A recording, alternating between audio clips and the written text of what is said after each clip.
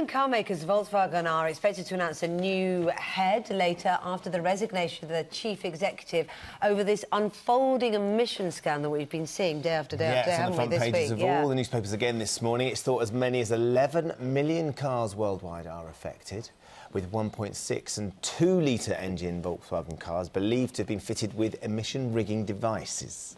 And Volkswagen has recorded nearly half a million cars in America already. However, it's not currently known how many British cars are affected. Well, motoring expert Quentin Willson joins us this morning. Morning, Quentin. Morning. Uh, so, what's your take on this situation? Well, uh, VW were completely insane to do this, and it's absolutely unpardonable. But there's a wider accountability here with governments, regulators, and um, legislators allowing this completely imperfect system of testing cars to go on for so long.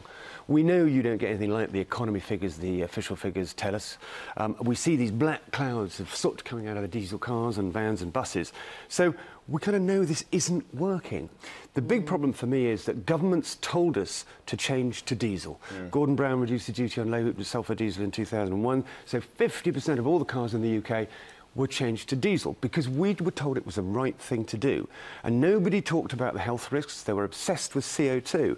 Now that's coming to be a huge, huge health hazard. And we haven't investigated into diesel how bad it is for us. It could be causing these high rates of cancer. So there's a government policy, there's a government accountability all across Europe for this.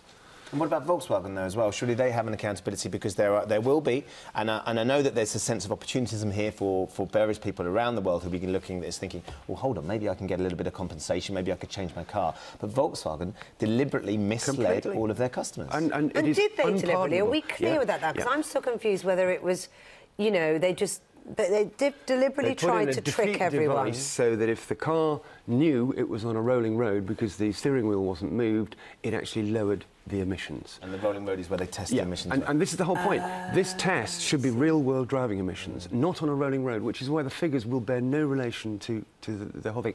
For owners of VWs, I would say this, do not panic. It's not going to affect your residual, your second-hand values.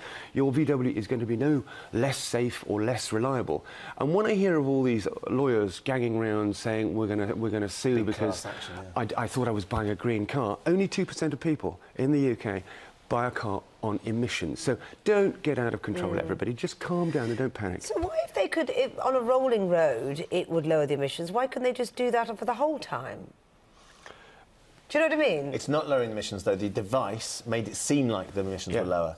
So the device that they fitted, a bit of software, yeah. meant that the engine then was telling the instruments that were being tested that actually there's not as many emissions coming out. uh, if you if you did that so it worked on, on the road all the time, the car would be slower. It would be much, Ah, much, much why. less responsive. Right, so the whole okay. test allows the car to be driven really, really, really slowly and gently and, Right. and special oils, special tyres. Is all it sorts of- just Volkswagen, Quentin, that's done this? Um, I, I don't think there's another car manufacturer has, that's got a defeat, defeat device, touch wood.